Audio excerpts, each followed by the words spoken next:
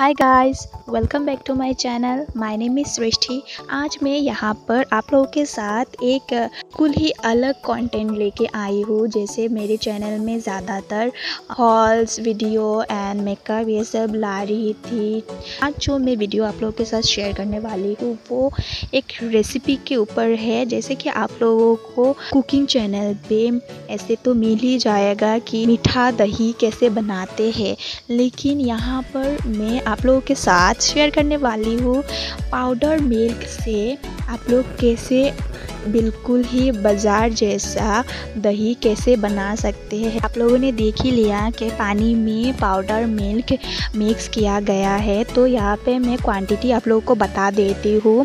यहाँ पर 18 लीटर पानी में या 2 केजी लिया गया है पाउडर दूध। यहाँ पर नॉर्मल पानी ही यूज़ किया गया है। दूध को मिलाकर अच्छे से आपको मिक्स करना पड़ेगा ताकि कोई भी लम्स ना रहे।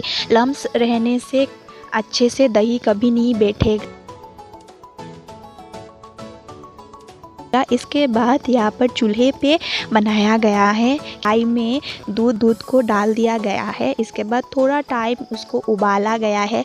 बिल्कुल ही उबाल लाने का ज़रूरत नहीं है। जब थोड़ा सा गर्म हो जाएगा, तब यहाँ पर डाला गया है बातें और आप लोगों को ध्यान रखना है, जब भी आप लोग दूध बिठाते हो गैस पे या पे चूल्हे पे, तब आपको कंटिन्यू इसको चलाना है। मुझे एग्जैक्टली exactly नहीं पता, हिंदी में बातेशा को क्या बोलते हैं? बातेशा बताशा बंगाली में ऐसे ही बोलते हैं लेकिन हम्म, हिंदी में एग्जैक्टली क्या बोलते हैं मुझे नहीं पता। तो सॉरी मैं यहाँ पर आप लोगों को साइड में पिक्चर लगा दूँगी ताकि आप लोगों को समझ में आ जाए मैं किस चीज़ के बारे में बात कर रही हूँ। और यहाँ पर चीनी नहीं डालना गया क्योंकि चीनी डालने से दही में पानी छोड़ देता है तो आप लोगों को ये ध्यान में रखना है। आप कभी भी अगर मीठा दही बनाते हैं तो आपको चीनी नहीं डालना है। आपको यहाँ पर बातेशा डालना है। तो इसको डाल के आपको अच्छे से उबाल लाना है। जब उबाल आ जाएगा दूध में, तब आपको इसे नीचे किसी दूसरे बर्तन में निकाल लेना है। और आप लोग देख सकते हो, इधर कंटिन्यू फ़ैन के नीचे चलाया जा रहा था दूध को, ताकि अच्छे से ठंडा हो जाए दूध। एक छलनी से छान कर इसे दूसरे बर्तन में डालना पड़ेगा, क्योंकि छलनी इस इधर इसीलिए यूज़ किया गया है ताकि अगर थोड़ा सा भी लम्स रह गया हो तो ये छलनी में अटक जाएगा इसके बाद यहाँ पर मिट्टी की बर्तन इसको पातिल कहते हैं।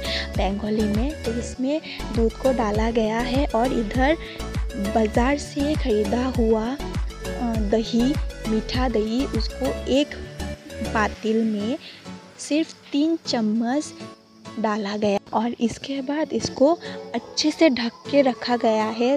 कोई भी हवा अंदर ना घुस पाए। बिल्कुल गर्म होना चाहिए जगह, तभी दही बनता है। ठंडे के सीज़न में बना रहे हो दही तो आप लोगों को क्या करना है? एक बड़ा सा ब्लैंकेट से उसको ढक के रखना है ताकि अंदर बिल्कुल गर्म हो जाए। और ये हम लोगों ने बिठाया था रात के आठ बजे और नेक्स्ट डे सुबह ही इसको करीब करीब 10-11 बजे हम लोगों ने देखा कि बिल्कुल अच्छे से दही बैठ गया था। तो ये दही बना मीठी दही बनाना बिल्कुल ही इजी है, लेकिन टेक्निक थोड़ा सा अलग है तो आप लोग ट्राई करके देख सकते हैं।